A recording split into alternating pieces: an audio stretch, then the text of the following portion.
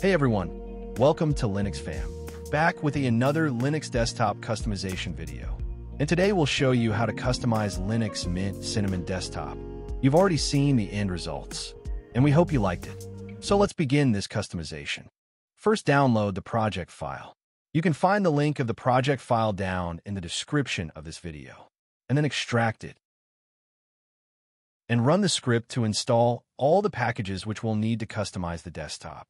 To run the script, we need to make the script executable first. So type chmod plus xscript.sh and then type slash script.sh and press enter and type your password and your job in the terminal is done. No more terminal for the rest of the customization. Then download all the themes and icon pack from the given links and then download them one by one.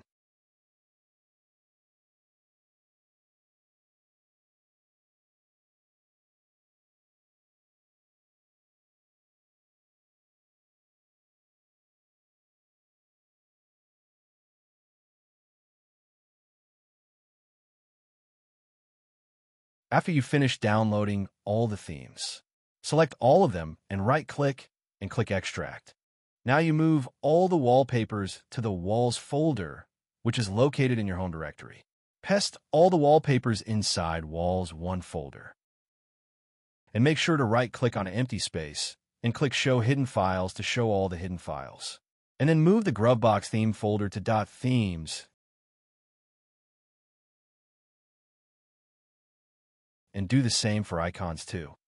Move the icons pack to .icons folder, which is located inside the home directory.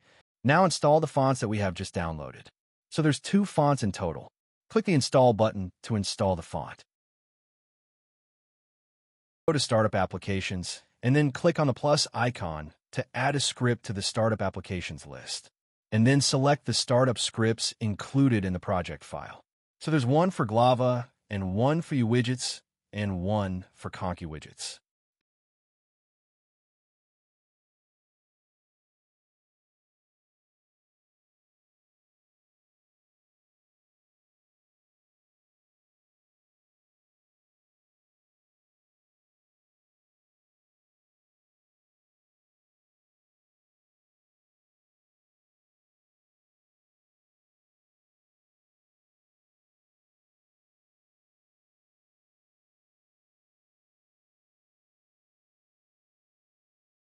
Don't forget to add the uLauncher and Cairo dock to the list as well.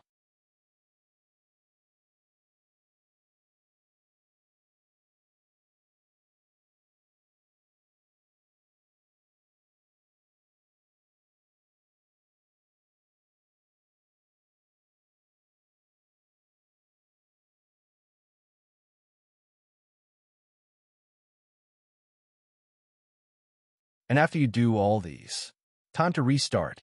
So restart your system and wait for it to apply the changes. Now right-click on the bottom default panel and click Move to move it to the left side of the screen.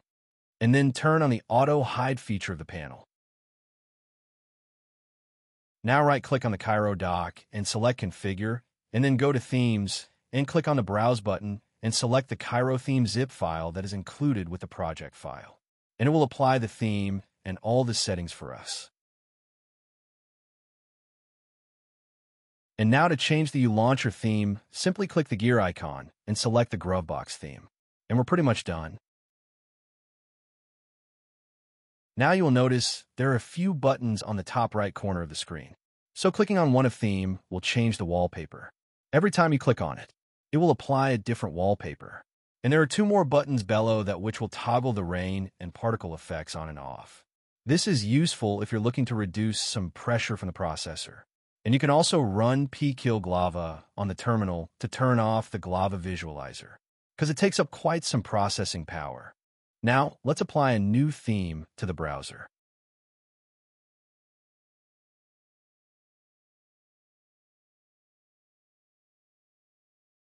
And then play something to show how Glava looks. Glava is an audio visualizer on the bottom left of the screen. And finally, we'll do some customization to the terminal.